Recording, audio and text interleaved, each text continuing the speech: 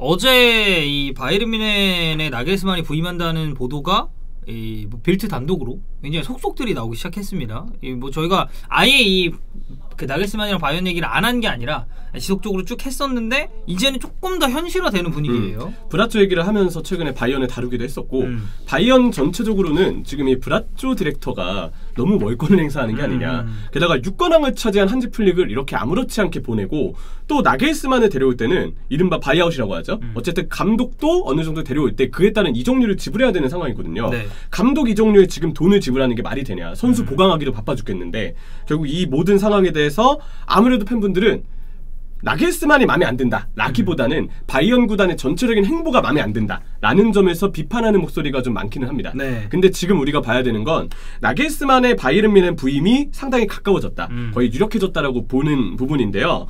어, 빌트에서 일단 보도를 했습니다. 그리고 로마노와 폴크도 비슷한 내용을 언급을 했어요. 2026년까지 바이에른 뮌헨은 나겔스만과 계약 예정이다. 음. 2026년이면 꽤 장기 계약입니다. 그쵸. 올해가 2021년이니까 이제 뭐 다음 시즌 오겠죠? 다음 음. 시즌 온다고 치면은 2021, 22 시즌부터 2025, 2026 시즌까지라는 음. 얘기니까. 계산해 보면 다섯 시즌을 일단 네. 지위를 맡길 것이다라는 게 되겠고 음. 초기 이제 영입 시 발생하는 비용은 1,500만 유로인데 음. 타이틀 획득 시에는 2천만 유로까지 상승한다는 얘기가 아, 있습니다. 그러니까 옵션이네. 이거 네, 어떻게 보면. 이 빌트지에서는 이렇게 보도를 했거든요. 음. 근데 기사에 따라서 어느 언론사가 보도하느냐에 따라 이 금액이 2,300만부터 3천만 유로까지 언급이 되기도 합니다. 음, 그러니까 대충 한 2천만에서 3천만 유로 음. 왔다 갔다 한다고 보면 될 것 같아요. 그렇죠. 확실 한 건 감독을 데려올 때 바이아웃에 따른 이 비용이 어느 정도 발생한다는 게 되겠죠. 음. 근데 바이언은 그 나겔스만의 바이아웃을 지불할 의사가 분명히 있다는 점을 빌트지에서는 확인해주고 있고요. 네. 어, 나겔스만의 연봉으로는 800만 유로 정도가 언급이 된다고 합니다. 근데 뭐 연봉이야 어차피 뭐 선수를 데려오든 감독을 데려오든 뭐 코칭 스텝을 데려오든 지속적으로 나가야 되는 고정 음. 지출이니까 이거는 뭐 그렇다고 치는데 이제 약간 좀 어, 팬들이 불만이 있는 게 안 그래도 지금 코로나 때문에 힘들고 그리고 뭐 선수 영입도 보강해야 될 포인트가 분명히 있는데 왜 감독에게 이렇게 또 거액을 써가면서 웬만한 선수를 데려올 수 있는 이적료를 지불을 해야 되느냐라는 점이겠죠. 그렇죠.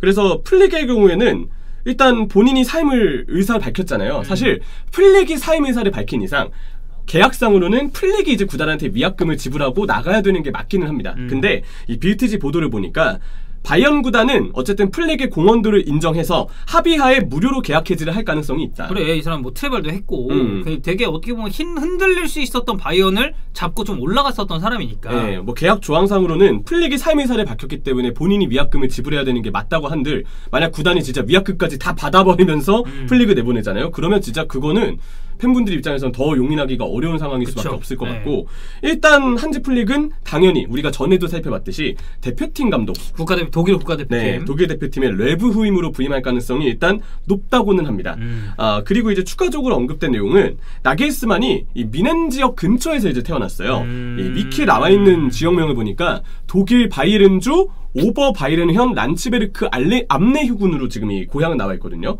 솔직하게 저는 독일 지역은 잘은 모르지만 독일은 환영밖에 몰라요. 아, 그렇죠. 응, 네. 정말 갔다 오신 분이니까. 음. 근데 뭐, 이 대부분의 보도에서나 혹은 제가 이제 자료를 찾아보니까, 미넨 지역 근처 태생. 사실상 미넨 지역에 대한 어느 정도의 애양심이 있을 수뭐 있다. 약간 좀뭐 근교 정도로 예, 보면 되겠죠. 그렇게 해서 언급은 되고 있더라고요. 음. 그걸 그대로 일단 소개를 해드리고요. 어, 평소 나겔스만은 라젠바 팬분들도 잘 아실 텐데 감독 부임 기간 동안에도 계속 바이언으로의 어떤 부임이라든지 음. 본인이 바이언에 애정이 있다. 그래서 감독으로서의 장기적인 목표는 바이언에 있을 것이다라는 내용들이 줄기차게 보도가 되어 왔었어요. 음. 일단 평소에 바이언의 팬이기도 하고 바이언 감독이 인생의 목표라는 점은 그동안도 숱한 언급이 되어 왔었고 어, 이제 나겔스만도 실제로 바이언을 원하고 있기에 음. 구단과 나겔스만의 협상은 빠르게 진행이 네. 되었다라고도 보도가 됐습니다. 여러분 조금씩 들리시겠지만 안에서 또 이제 주책남들 녹음을 하고 있기 때문에 네. 네, 오늘 역시도 양해를 좀 부탁드립니다. 그렇죠. 근데 우리가 나겔스만의 어떤 프로필을 보면 기본적으로 호펜하임의 20대 후반의 나이로 감독에 음, 부임해서 그쵸. 시즌 도중에 부임해서 팀을 자유권으로 끌어올렸고 음. 원래 강등권에 있던 팀을 자유를 시킨 거잖아요. 음. 두 번째 시즌에 4위를 차지하면서 바로 유럽 클럽 대항전에 진출할 수 있는 순위권을 만들어 놨습니다. 음. 나이를 생각하면 진짜 말도 안 되는 감독 경력을 쌓았고 진짜 말도 안 되죠. 33살의 나이로 이제 바이른 미넨의 감독이 네. 되는 거예요. 거의 독일의 이명철이지 이 정도면. 인정하겠습니다. 네. 네.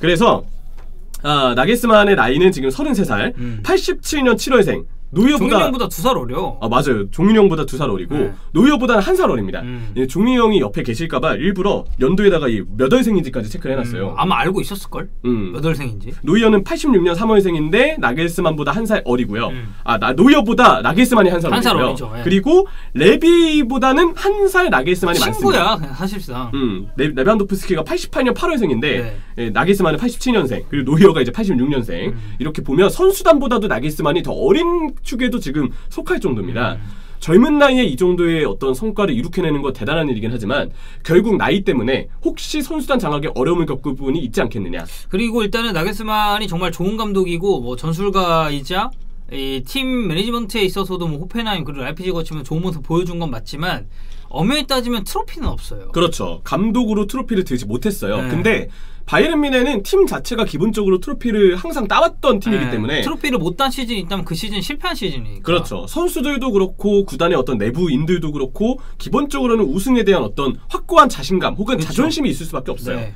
그래서 상대적으로 선수 시절 경력도 훨씬 부족하고 음. 여기에 감독으로서도 결국 트로피를 아직까진 들지 못했던 나겔스만이기 때문에 음. 입김 높은 바이언을 뭔가 내부적으로 장악하기에는 우려점이 있을 수도 있다. 그렇죠. 이미 지금 좀 우려를 받고 있는 분위기라는 점은 아, 전해드릴 수가 있겠고요. 전술의 유연성과 스타일은 사실 좋은 인물입니다. 음. 우리가 나겔스만의 어떤 포메이션을 특정해서 얘기하기가 되게 애매하잖아요. 아니 프리뷰 할 때 제일 힘든 팀이 라이프치히죠. 음. 왜냐면 3백이랑 4백 중에 어떤 걸로 나올지 이제 대충 그러니까 다른 팀 보면 이게 윤곽이 나오는데 나, 이 나겔스만은 3백 할 것 같은데 하면 4백 나올 때도 있고 그렇죠. 또 4백 나올 것 같은데 하면 또 3백 나올 때도 있고 이러니까 그리고 선수단의 어떤 경험이라든지 음. 기본적인 선수단의 어떤 장점 내지는 그 선수단이 가지고 있는 또는 팀의 어떤 시스템을 어떻게 묶어야 할지 그쵸. 그 판을 굉장히 잘 짜오는 감독이에요. 음. 근데 그 판이 굉장히 유연하다 음. 이런 부분들을 언급드릴 수 있겠지만 근데 나겔스만도 전술적으로 문제가 아예 없진 않습니다. 음. 저는 항상 나겔스만을 얘기할 때마다 이 감독이 아무리 포메이션을 잘 바꾸고 전술에 대한 시스템을 잘 바꿔서 대응을 한다 할지라도 음. 똑같은 스타일 유지되는 기조가 딱 두 개가 있어요. 첫 번째는 올라가 있는 수비 라인, 음. 두 번째는 강한 압박입니다. 네. 근데 이 두 가지가 어떻게 보면 챔피언스 리그의 높은 레벨에 좀 더 도달을 하기에는 중요할 때 이 두 가지 때문에 결국은 경기 자체를 내주는 경우들이 라이프치히도 종종 있어 왔거든요. 음. 리버풀과의 이번 토너먼트에서도 결국 올라가 아, 있는. 수비 라인과 뒷방 씨게 맞았죠. 그 계속된 일률적인 압박. 근데 이거를 리버풀이 잘 대응해 나가면서 음. 결국 리버풀도 하던 대로 했고 나겔스만도 하던 대로 했지만 너무 쉽게 나겔스만이 특유의 단점을 읽혔다라고 이제 그 경기는 분석이 가능했거든요. 네. 그래서 나겔스만도 바이언에서는 조금 더 올라가 있는 수비 라인과 압박의 전술의 이 특징에 있어서도 어느 정도는 유연성이 필요할 수 있다. 음. 이 유연성이 발휘가 되고 받침이 되어야 토너먼트에서도 좀 더 안정적인 성적을 낼 수 있을 가능성이 커지기 때문에 근데 이 단점을 본인이 뭔가 만회하지 못한다면 저는 펩 과르디올라가 빅이어를 계속 들지 못했던 단점이 따라왔었던 바이언에서도 그런 커리어를 보였잖아요. 음. 그랬던 것처럼 자칫 나겔스만도 중요한 상황에서 본인이 가지고 있는 명확한 단점이 챔피언스리그의 상위 레벨에서는 발목을 잡을 가능성이 있다. 음. 왜냐하면 지금 트로피가 없으니까 결국 그쵸. 우리가 이 점도 우려점으로 체크를 해야 되거든요.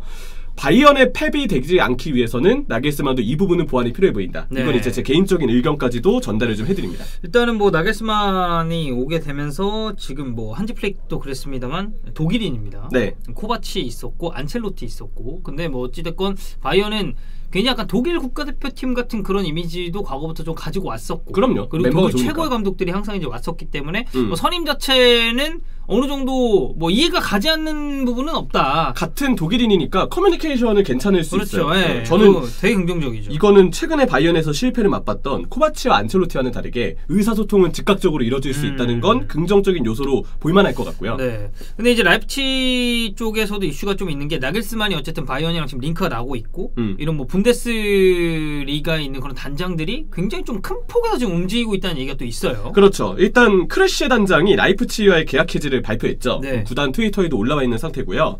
어, 크뢰셰는 젊은 나겔스만에 맞춰서 랑닉 대신에 라이프치히도 새롭게 데려온 젊은 단장입니다. 네. 그러니까 사실상 같이 움직였다고 볼 수가 있어요. 음, 근데 그러니까 나겔스만이 지금 나가려고 하니까 음. 크뢰셰 역시도 뭔가 움직임 자체가 이거 나갈 수도 있겠다 네. 이런 얘기가 나올 수밖에 없죠. 그렇죠. 실제로 이제 올 시즌을 끝으로 이제 계약 해지가 발표가 난 상황이니까 네. 결국 이 나겔스만에 나가는 움직임에 마찬가지로 대응이 된 부분이다 라고 음. 해석이 가능하겠고 추가적으로 크뢰셰 단장이 있을 때 라이프치히가 결국 대부분의 영입 작품은 최근에 실패했거든요. 음. 그래서 이 부분에 실패했다는 책임도 일부 영향을 있을 것이다. 네. 이렇게 이 사안에 대해서는 좀 파악이 되고요.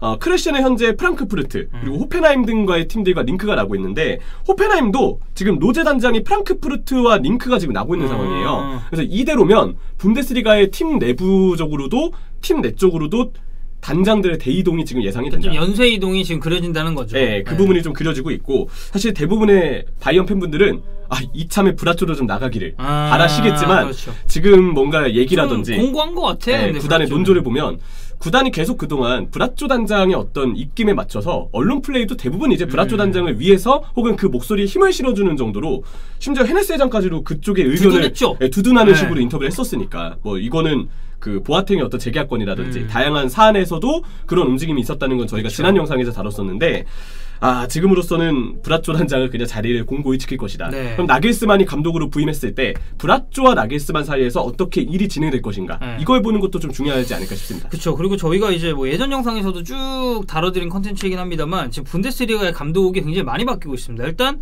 한지 플레이그는 바이언을 떠납니다. 근데 네. 이제 독일 국가대표팀이 유력한 상황이고 어, 나겔스만은 말씀드렸듯이 바이에른 뮌헨이 유력하고 이 엠게 묀헨글라트바흐의 마르코 로제 같은 경우는 도르트문트 행이 확정이 됐어요. 이거 시즌 중반에 이제 발표가 났습니다. 그리고 묀헨글라트바흐에 어느 감독이 부임하느냐? 네. 지금 아디 휘터 프랑크푸르트 프랑크푸르트 감독이 감독, 예. 네, 묀헨글라트바흐로 이제 연결이 된 상태죠. 음. 그러다 보니까 지금 이미 이 단계만 보더라도 플릭, 나겔스만, 마르코 로제, 아디 휘터 음. 네 명간의 감독 대이동이 지금 일어났다는 걸 볼 수가 있고요. 네. 어, 여기에 추가적으로 잘츠부르크의 제시 마치 감독이 아 제시 마치. 나겔스만의 후임이 될 것이라는 얘기들이 많습니다. 근데 이거는 뭐 잘츠부르크와 라이프치히 간의 커넥션을 생각해봤을 때 저는 충분히 있을 수 있는 이적이라고 봅니다. 그리고 개인적으로는 좀 반가운 게 있어요. 왜냐면 황희찬의 감독이었으니까. 아 그렇죠. 어, 황희찬이 지금 라이프치히에 있고 황희찬 또 잘 썼으니까. 음, 제시 마치라면 충분히 황희찬의 장점이 좀 더 발현될 수 있을 것 같다. 네. 그리고 제시 마치의 이른바 이 감독 스타일이 결국은 이 아까 얘기했던 라이프치 그리고 잘츠부르크의 관계까지 봤을 때 음. 라이프치 특유의 그 공격적인 스타일하고 맞물리는 부분이 꽤 있거든요. 음.